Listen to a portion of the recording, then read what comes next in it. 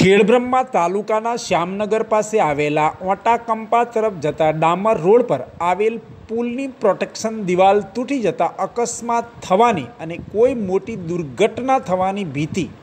અહીંથી આવતા જતા રાહદારીઓ અને વાહન ચાલકોને સતાવી રહી છે.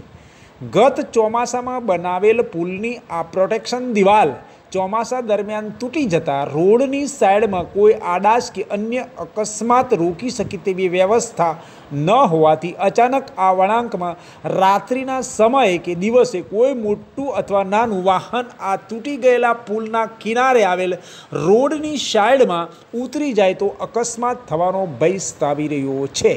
એક જ વર્ષમાં બનેલા આ પુલની પ્રોટેક્શન દિવાલ એક જ વર્ષમાં તૂટી જતા અનેક શંકા કુશંકાઓ